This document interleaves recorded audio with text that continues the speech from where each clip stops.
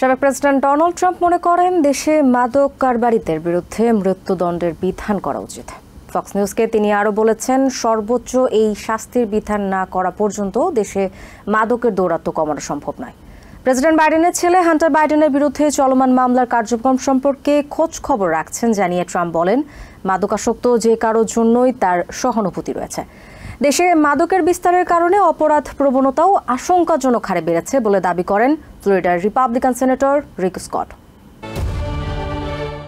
President বাইডেনের ছেলে Hunter বাইডেনের বিরুদ্ধে দেলাওয়ারের উইলমিংটনের আদালতে চলমান বিচার প্রক্রিয়া সম্পর্কে বেশ ভালো করেই খোঁজ রাখছেন সাবেক প্রেসিডেন্ট ডোনাল্ড ট্রাম্প। এই প্রসঙ্গে কথা বলতে গিয়ে ফক্স নিউজকে বলেন প্রেসিডেন্ট পুত্রের বিচার কাজ সুবিধা অনুযায়ী আদালতে চলমান থাকলেও তার বিরুদ্ধে তা হয়নি। বারবার আবেদন করেও হাসমানি মামলার বিচার কাজ নিউ ইয়র্কের আদালত থেকে সরানো হয়নি এবং বিচারককেও পরিবর্তন করা হয়নি বলে ক্ষোভ জানান Trump.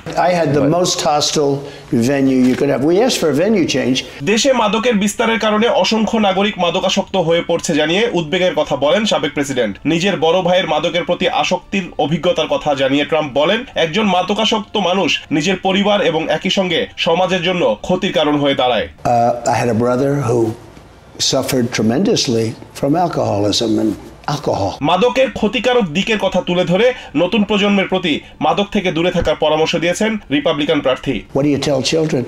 I say, if you don't have a drink, you're never going to have a problem. দেশে মাদকের বিস্তার নিয়ন্ত্রণে মাদক কারবারিদের বিরুদ্ধে সর্বোচ্চ সাজা হিসেবে মৃত্যুদণ্ডের বিধান কার্যকর করা প্রয়োজন বলে মনে করেন ট্রাম্প তার মতে যতক্ষণ পর্যন্ত এই বিধান কার্যকর করা সম্ভব হবে না মাদকের বিস্তার রোধ করাও অসম্ভব.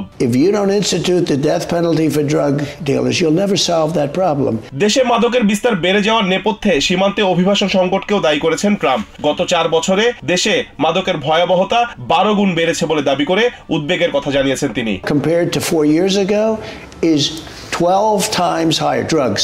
Biden পুত্র হান্টার বাইডেনের বিচার কাজ প্রসঙ্গে ট্রাম্প বলেন বিচার কাজ তার গতিতেই চলবে তবে যে কোনো মাদকাসক্তের জন্যই তার সহানুভূতি কাজ করে কারণ তার নিজের পরিবার এবং বন্ধুদের মধ্যেও অনেকে মাদকের ভয়াল থাবায় করুণ পরিণতি ভোগ করেছে And their trial is look, I feel very badly for them in terms of the addiction part of what they have right now. এদিকে ন্যাশনাল নালোকসান অ্যাওয়ারনেস ডে উপলক্ষে আয়োজিত এক অনুষ্ঠানে দেশে মাদকের বিস্তার ও করণীয় নিয়ে কথা বলেছেন ফ্লোরিডার Republican senator Rick Scott to do is you when you raise your kids you're just scared to death you do everything you can but you're scared to death they're going to get on drugs senator Scott বলেন দেশে মাদকের বিস্তারের নেপথ্যে বড় ধরনের আন্তর্জাতিক অপরাধী চক্র জড়িত।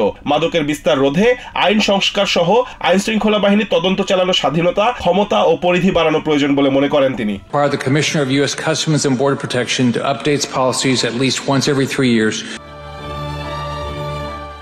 Rizwan Kader TVN twenty four news desk New York থেকে সম্প্রচারিত টিভিএন টোয়েন্টি ফোর টেলিভিশন বিশ্বজুড়ে বাঙালির কণ্ঠস্বর।